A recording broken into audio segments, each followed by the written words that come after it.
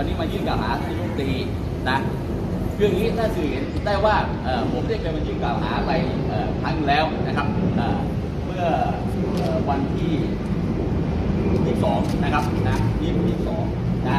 แล้วผมไม่ได้ถอนในวันที่23นะฮะทีนี้วันนี้ผมก็มายื่นกล่าวหา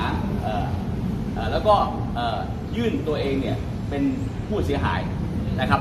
นะเพราะอะไรครับเอ่อเพราะว่าที่ผมต้องมายื่นใหม่เนี่ยเพราะว่าเอ่อวันนี้ผมมายื่นแล้วผมถอนเนี่ยผมทราบว่าท่านผบจดีท่านมายื่นแล้วนะครับอ่าเพื่อไม่ให้ซ้ำซ้อนนะครับ แต่ตอนหลังต่อมาผมทราบว่าท่านผบตรเสรีเนี่ยเอ่อท่านถอนนะเมื่อท่านถอนเนี่ยมันก็ไม่มีผู้เสียหาย มันก็ไม่มีใครติดตามคดีนะครับ วันนี้ผมก็มายื่นกล่าวหานายกรัฐมนตรีนะกรณีปฏิบัติหน้าที่มิชอบนะแต่งตั้งผบตรที่ผ่านมาโดยมิชอบนะครับเพราะว่าการแต่งตั้งผบตรเนี่ยตามหลักเกณฑ์นะครับ นะจะต้องหลักเกณฑ์มีอยู่สองข้อเองนะครับหนึ่งอาวุโสนะสองประสบการณ์ความรู้ความสามารถนะในงานสืบสวนสอบสวนในงานป้องกันปราบปรามนะครับแต่ถ้าไปฟังในคลิปต่างๆเนี่ยนะที่มีการแถลงนะครับ ก็บอกว่าแต่งตั้งโดยอะไรสามารถสามารถสนองนโยบายรัฐบาลได้นะครับเป็นที่ไว้วางใจ ซึ่งมันไม่ใช่หลักกฎหมายนะครับ ทีนี้ ผมก็ต้องกลับเรียนว่าถ้ายังถือเป็นอย่างนี้ต่อไปนะครับต่อไปองค์กรนี้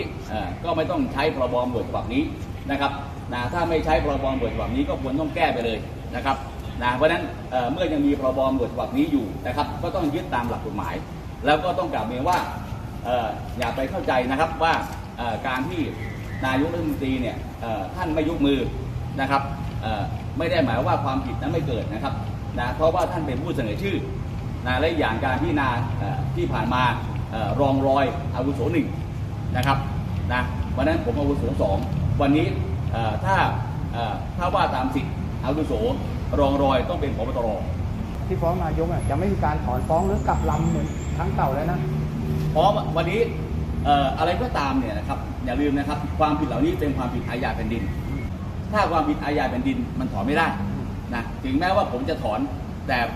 เหมือนเหมือนเราไปฆ่าคนตายอะนะครับผมเปรียบเทียบนะครับเราไปฆ่าคนตายแล้วเราบอกว่าเราจ่ายเงินให้ญาติเขาเนี่ยเอ่อจบแล้วนะญาติบอกว่าเฮ้ยผมไม่ติดใจแล้วนะไอ้ที่ลูกหลานผมตายเพราะผมได้เงินเพียงพอแล้วแต่ว่าคดีอาญามันต้องอยู่ แล้วทำไมเดินหน้าอ่าท้ารบกับนายกอีกอะก่อนหน้านี้ก็ท่าทีเหมือนว่าทางรองสุรเชษฐ์เนี่ยผมผมไม่ได้ท้ารบผมไม่ได้ท้ารบนะครับผมก็เอ่อทำไปตามกฎหมายทำไปตามกระบวนการของเอ่อความยุติธรรม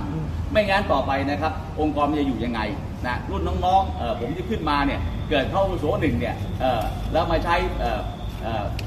ไม่ใช่ยึดหลักของกฎหมายนะไปใช้อะไรครับสนองนโยบายรัฐบาลได้นะครับแล้วอย่างนี้มันก็เหมือนการหลอกประชาชน วันนี้เราเราดำเนินการตามกระบวนการยุติธรรมนะครับนะเอ่อนะเพราะฉะนั้นวันนี้เราทำหน้าที่ของเราอะนะครับนะที่ผ่านมาก็ดำเนินคดีคนมีตั้งเยอะแยะแล้วนะไม่เห็นถูกยิงสักทีนะก็ถูกยิงเหมือนกันถูกยิงรถไง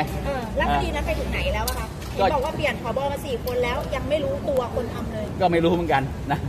แล้วแล้วท่านจะมีการเดินหน้าในเรื่องของความเสียหายที่ถูกยิงรถหกนัดไหมรอบยิงคราวนั้นอ๋อไม่ไม่ไม่ผมผม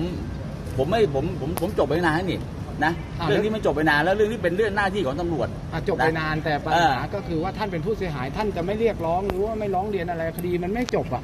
ไม่มันก็ตอนตอนนี้เขาบอกว่าเขาอยู่ระหว่างการสืบสวนอยู่ โอ้มันนะ อยู่มาหกปีมัมันนก็เป็นไปได้ไงเอาเอาก็ท่านไปดูแล้วกันว่าเขาว่าเขาทำงานยังไงล่ะ ถูกไหม แต่ท่านไม่ติดใจมั้างเลยเหรอผมอย่างนี้ เออ ผมอย่างนี้ผมต้องเรียนว่าเอ่อเรารู้อยู่แล้วว่าใครทำนะครับนะเราผมเรียนเป็นตำรวจ ผมรู้อยู่ว่าใครทำแต่มันพูดไม่ได้ถูกไหมเอ่อพูดไปมันก็ไปเข้าหมีเดหมาเขาอีกถูกไหมอืมอ่านะเพราะฉะนั้นวันนี้ผมไม่ได้เป็นคนสืบสวนคดีเองอืมนะครับตั้งแต่แรกนะครับนะแต่ว่าเอ่อเราเนี่ยเรารู้อยู่แล้วว่าใครเป็นคนทำอืม นะครับ วันนี้ คนที่ทำเนี่ยเวรกรรมกำลังตามอยู่แล้วนะครับเออก็ก็ไม่เป็นไรนะ